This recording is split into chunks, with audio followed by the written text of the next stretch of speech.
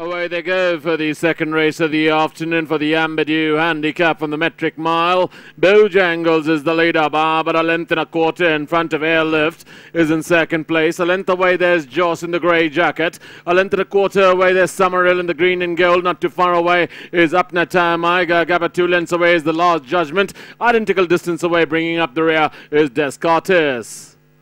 They passed the 1200 meter marker and it's Bojangles the leader. But a length and a half in front of Joss has moved up to be in second place. Three parts of a length away on the outside is Airlift. A length and a quarter away is Upnatam Iga in the dark blue jacket. Half a length up on the outside is Summerhill. Another length and a quarter away is uh, the last judgment. Half a length up on the outside is Descartes making a forward move.